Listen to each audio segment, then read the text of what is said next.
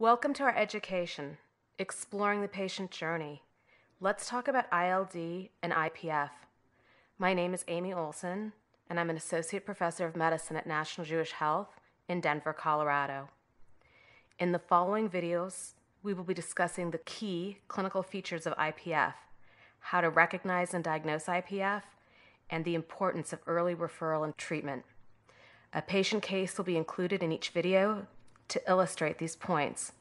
Each video builds on the content presented in the previous one. We strongly encourage you to complete the modules in the sequence they are being presented. First, let's review the clinical features of ILD and IPF. Interstitial lung disease represents over 130 different types of inflammatory or fibrotic lung diseases affecting the lung parenchyma.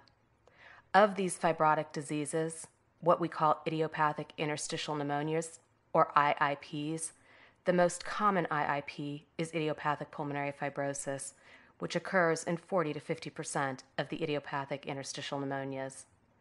IPF tends to occur in smokers and more frequently in men than women. The vast majority of patients are over 50 years old. The prognosis of IPF is devastating, with a median survival of two to four years.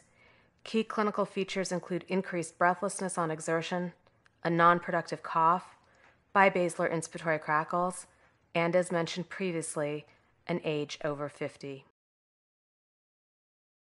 Let's review the case of Mr. Joe.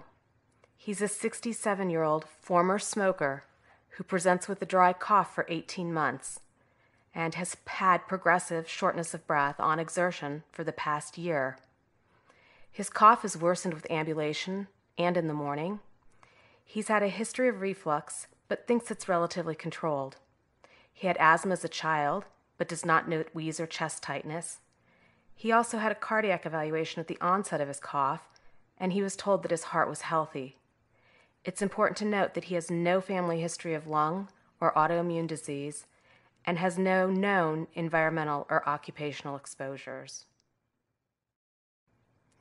On examination, Mr. Joe has a blood pressure of 132 over 68.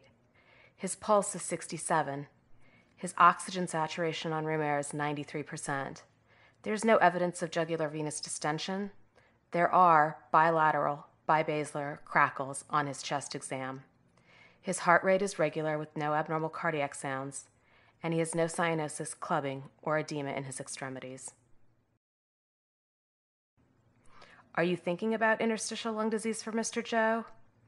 Here are some of the reasons why you should consider it.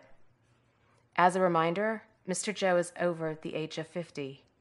He's had a negative cardiac evaluation, and he's presenting with progressive shortness of breath.